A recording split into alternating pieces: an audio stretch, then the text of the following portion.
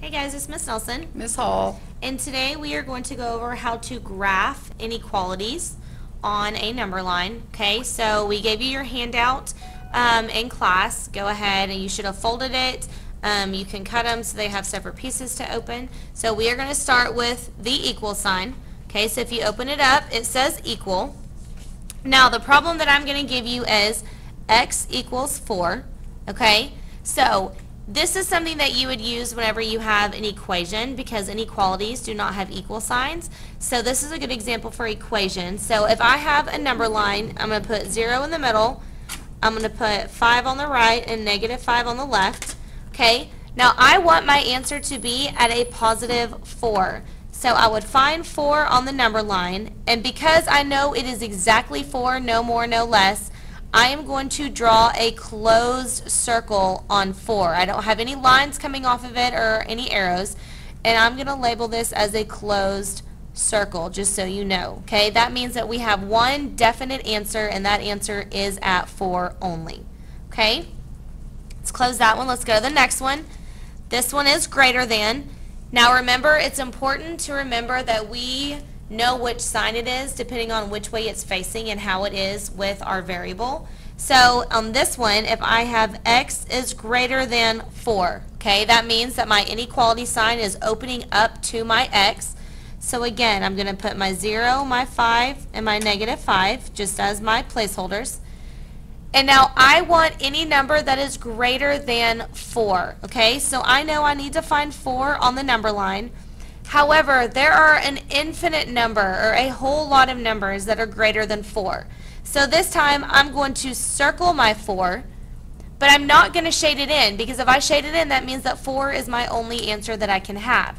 So I leave an open circle and I'm going to point an arrow to all the numbers that are greater than 4.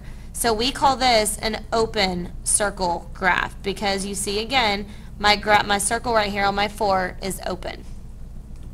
Okay, let's go to the next one. So the opposite of what we just did is less than. And we're going to use the same number. So x is less than 4. Okay, I have my 0, my 5, and my negative 5. So now we kind of change the way we're thinking about it. And I want all the numbers that are less than 4. So 4 is still important. It's still going to be there. So I know I'm going to circle it. But now, thinking which direction to draw your graph, if I start calling out numbers that are less than 4, it's 0, it's negative 1, it's negative 5, it's negative 10. So those numbers are on this side of the number line. So this is why my arrow points this way, because all these numbers are less than negative 4. I'm sorry, positive 4. And again, it is an open circle because 4 is not included in this set. We only want the numbers less than 4. Okay, so now I'm going to, we're going to go to our next example, which is greater than or equal to.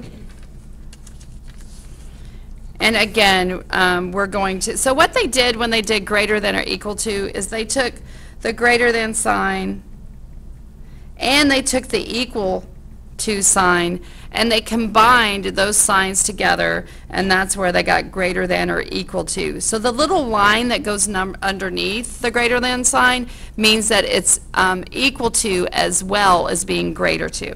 So I'm going to just draw my number line over here. I'm going to have a 0, 5, and negative 5 as my placeholders. Then I'm going to, we're also going to do x is greater than or equal to 4. So now I'm going to go to my 4 so this time, we're, we're all the numbers that are greater than 4, but it's also equal to 4, so we're including 4. So when you include 4, just like when we did the equal at the very beginning, we, we put a closed circle. We're including 4, but then we're also including all numbers greater than 4. And one way to remember which way to point your arrow, which way to draw your arrow. If your X is first, it actually goes the same direction as your um, sign up here. So see how that points to the right? This goes to the right as well. Okay, our last one is less than or equal to. And again, they combined that equal to, um, I mean the less than sign and the equal sign. And so we're going to do x less than or equal to 4. We're going to do our number line.